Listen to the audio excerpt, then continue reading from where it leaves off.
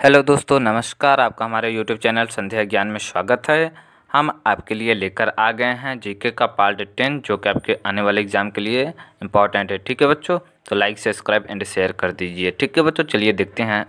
सबसे बड़ा ग्रह है बृहस्पति, पृथ्वी, यूरेनस या फिर शुक्र। तो इसका सही आंसर होगा बृहस्पति सबसे बड़ा ग्रह है। ठीक है? आगे चलते हैं। विंध्याचल और सतपुड़ा पहाड़ियों के बीच से होकर बहने वाली नदी है। नर्मदा न, सिंधु नदी, कोसी या फिर गोदावरी। तो इसका सही आंसर होगा आपका नर्मदा नदी। ठीक है, आगे चलते हैं। विवेकानंद रॉक मेमोरियल कहाँ स्थित है?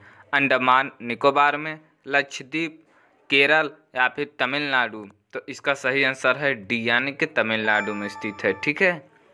कितने वर्षों के पश्चात राष्ट्रीय जनगणना होती है? दस, पाँच, तीन, पच्चीस। तो इसका सही आंसर होगा दस वर्ष बाद होती है, ठीक है, आगे चलते हैं। है? हिंदी किस लिपि में लिखी जाती है? पर्शियन, रोमन, देवनागरी या फिर पाली? तो इसका सही आंसर होगा देवनागरी। ठीक है बच्चों, आगे चलते हैं। नौसेना दिवस किस दिन मनाया जाता है? सात अगस्त, सोलह सितंबर, चार दिसंबर, आठ फरवरी। तो इसका सही आंसर होगा चार दिसंबर। ठीक है बच्चों? आगे चलते हैं। सशस्त्र सेना झंडा दिवस किस दिन मनाया जाता है? सात सितंबर, सात दिसंबर, सात फरवरी, सात अप्रैल। तो इसका सही आंसर होगा आपका सात दिसंबर होगा। ठीक है बच्चों, आगे चलते हैं। राष्ट्रीय पक्षी दिवस कब मनाया जाता है? बारह अक्टूबर, बारह नवंबर, अठारह दिसंबर या इनमें से कोई नहीं। सोचिए और बताइए। बारह नवंबर को मनाया जाता है। ठीक है बच्चों, बारह नवंबर को। ठीक है, आगे चलते हैं। भारत में डाक सूचकांक प्रणाली की शुरुआत किस वर्ष हुई? उन्नीस सौ बानवे में, उन्नीस सौ अट्ठानवे में, उन्नीस सौ बहत्तर में या उन्नीस सौ सत्तर में? तो इसका जो सही आंसर हो जाएगा वो सी हो जाएगा। उन्नीस सौ बहत्तर में हुई थी। ठीक है बच्चों, डब्ल्यू एल एल का अर्थ है, बताइए इसका फुल फॉर्म क्या है? मतलब तो विदाउट लिवर इन या वायरलेस इन लोकल लूप या वायरलेस इन लूप लाइन या विद इन लोकल लाइन तो इसका सही आंसर हो जाएगा वायरलेस इन लोकल लूप ठीक है बच्चों? चलिए अब आगे चलते हैं। मनुष्य के शरीर का सामान्य तापक्रम होता है। यानी सभी मनुष्य का जो सामान्य तापक्रम होता है, वो क्या होता है? देखिए, पैंसठ डिग्री। या फिर पंचानवे डिग्री, या फिर अट्ठानवे डिग्री, या फिर निन्यानवे डिग्री। तो इसका सही आंसर हो जाएगा सी, यानी कि अट्ठानवे डिग्री। ठीक है बच्चों? आगे चलते हैं। उष्मा का उष्मा का सबसे अच्छा चालक है। चांदी, तांबा, सोना या इनमें से कोई नहीं तो इसका सही आंसर होगा ए, यानी कि चांदी। ठीक है बच्चों? आगे चलते हैं।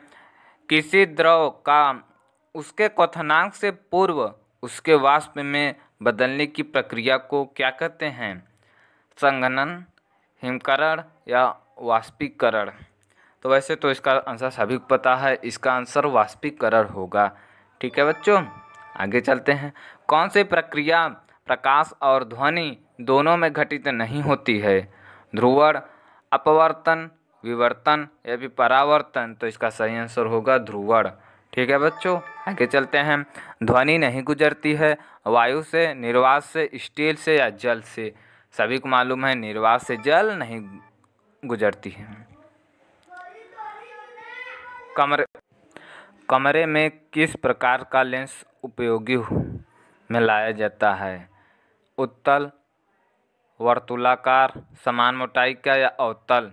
तो इसका सही आंसर होगा आपका ए, यानी कि उत्तल का, ठीक है? आगे चलते हैं। पानी से भरे तालाब की गहराई किस कारण कम दिखाई देती है? अपवर्तन के कारण सभी को मालूम होगा। ठीक है, आगे चलते हैं। प्रकाश की गति किसके बीच से जाते हुए न्यूनतम होती है? वायु, जल, कांच, निर्वात तो सही आंसर होगा कांच। ठीक है, आगे चलते हैं। तरल ताल वास्तविक गहराई से कम गहरा दिखाई देता है। इसका क्या कारण है? प्रकीर्णन, व्यतिकरण अपवर्तन या फिर प्रकाश। तो इसका सही आंसर हो जाएगा आपका सी, यानी कि अपवर्तन। ठीक है, आगे चलते हैं।